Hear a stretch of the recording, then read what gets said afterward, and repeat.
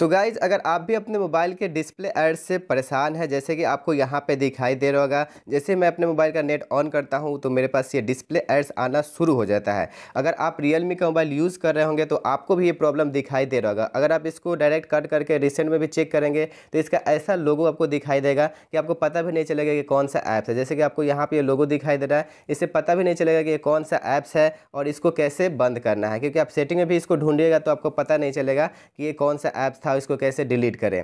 तो आपको क्या करना है, अगर आपके साथ भी ऐसा प्रॉब्लम हो रहा है तो आपको कुछ नहीं करना। आपको क्या करना है सिंपल अपने मोबाइल के सेटिंग्स को ऑन करना है। इसको बंद करना बहुत ही आसान है। आपको यहाँ पर सेटिंग्स में आना है और सेटिंग्स में आने के बाद अब आपको क्या करना है, अपने सेटिंग्स में यहाँ पे सर्च करना जैसे कि देखिए, फिर से यहाँ पे एक एड्स आ गया तो इस प्रकार के एड्स से मैं काफ़ी ज़्यादा परेशान हो गया था और बहुत ज़्यादा यूट्यूब पे सर्च करने के बाद ही मुझे इसका कोई भी सही सोल्यूशन नहीं मिला। फिर बाद में मुझे जाके पता चला कि इसको कैसे बंद करना है।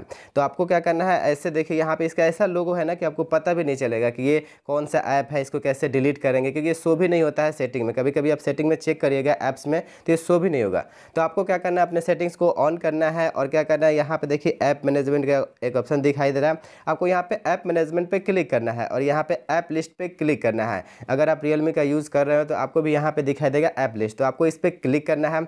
और क्लिक करने के बाद आपको क्या करना है? इस क्लिक करने के बाद आपको यहाँ पे देखिए एक गोल सर्कल यहाँ पे दिखाई दे रहा होगा। ये आपको साफ़ साफ़ दिखाई नहीं दे रहा होगा, लेकिन यहाँ पे जो आपको दिखाई दे रहा है, आपको क्या करना है? आपको इसको ओपन करना है। यहाँ पे देखिए गोल सर्कल दिखाई दे रहा है। एयरटेल ऐप जो लिखा है ना, उसके ऊपर। एयरटेल ऐप्स के ऊपर यहाँ पे देखिए गोल सर्कल है। तो आपको क्या करना है? इसको ही ओपन कर लेना है। जैसे मैं यहाँ पे ओपन कर लिया, अब यहाँ पे देखिए इसको हम अनइंस्टॉल करेंगे। अगर हम इसको अनइंस्टॉल कर देंगे तो हमें जो भी एड्स आ रहे थे डिस्प्ले पे, वो परमानेंट के लिए ब्लॉक हो जाएगा, क्योंकि यही प्रॉब्लम का मेन जर है। तो हम इसको अनइंस्टॉल कर देंगे। अगर आपके मोबाइल में ये शो नहीं होता है तो आपको क्या करना है? सिंपली आपको इसको अगर चेक करना है सेटिंग अगर चेक करेंगे ना तो ये कभी कभी दिखाई भी नहीं देता मेरे तो यहाँ पर ऊपर दिखाई दे रहा है, आपको यहाँ पर शो भी नहीं होगा। तो इसके लिए आपको यहाँ पर डॉट्स जो दिखाई दे रहा है, इस पर क्लिक करना है शो सिस्टम पर ऑन करना है, और उसके बाद आपको यहाँ पर सर्च करना है लॉन्चर आपको क्या करना है? यहाँ पे सर्च करना है लॉन्चर सिस्टम लॉन्चर यहाँ पर आ गया। आपको इस पर क्लिक करना है, और यहाँ पे स्टोरेज यूजेज पे क्लिक करना है। उसके बाद यहाँ पे क्लियर डाटा कर देना है।